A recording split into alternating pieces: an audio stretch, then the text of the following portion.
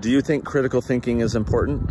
Well, then my next question for you is, do you think that today's schools are cultivating critical thinking in kids? This is one of the reasons why homeschooling is so powerful is because you can help kids develop intellectual curiosity, question authority, think outside the mold of society that has been imprinted upon them, right? But whether you homeschool or not, it's very important as a parent to be intentional and help our children understand that just because they heard something from an authority figure does not make it right, whether that be a teacher or a politician right? Or even the parents themselves. We have to help our kids understand that they need to even question what we tell them. They need to learn how to learn. They need to seek truth on their own. That is the best thing that we as parents can be doing. Whether we homeschool or not, we gotta help our kids become free thinkers. The future of our country depends on it.